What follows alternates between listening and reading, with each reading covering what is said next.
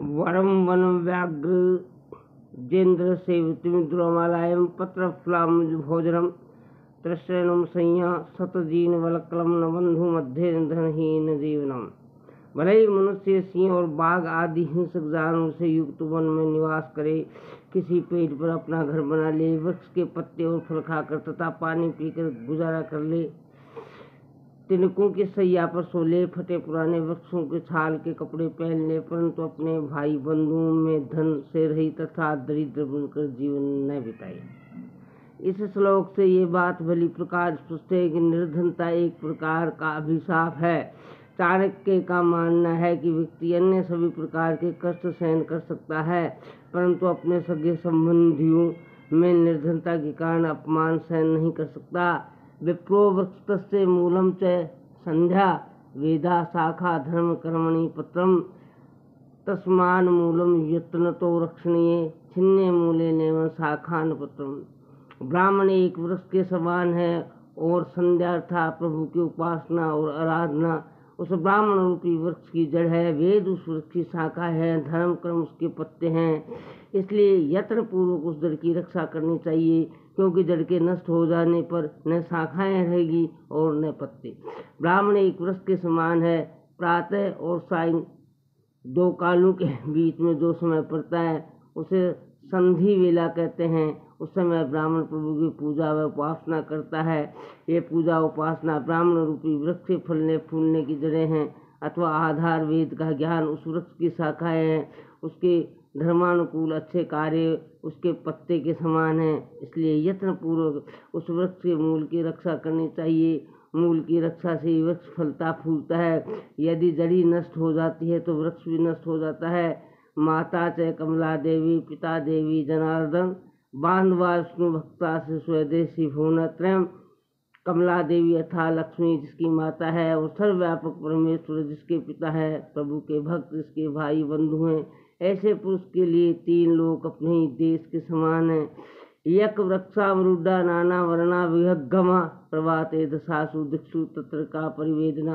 रात्रि के समय अनेक रंग रूप वाले पक्षी एक वृक्ष पर आकर बैठते हैं। प्रातः काल वे समय वे सभी दसों दिशाओं अर्थात विभिन्न दिशाओं में उड़ जाते हैं। इस बात में शोक करने की आवश्यकता नहीं है।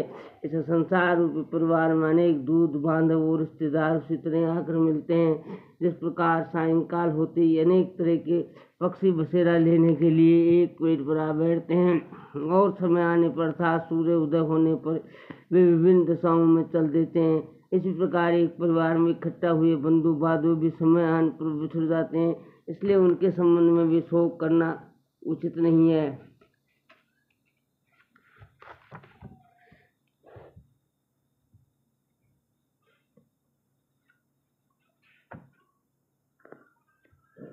बुद्धि यस्य बलम तस्य निवृत्त सुकुतो बलम वनो सिंह मदोन्मत ससे के निपातित जिसके पास बुद्धि अर्थात ज्ञान है, उसके पास बल भी होता है। बुद्धिहीन व्यक्ति के पास बल कहाँ है? जंगल में अपनी शक्ति के मद में मस्त सिंह को एक खरगोश ने मार डाला। इस कथा में सभी परिचित हैं। भावार्थ ये है कि छोटे से खरगोश ने अपनी बुद्धि के बल से बलवान सिंह को भी मौत के घाट उतार दिया।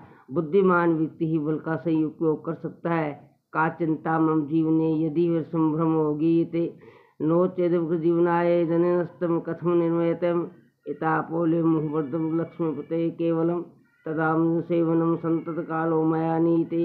यदि भगवान विष्णु को सारे संसार का पालन पोषण करने वाला कहा गया है तो मुझे इस जीवन में किसी बात की चिंता करने की आवश्यकता नहीं।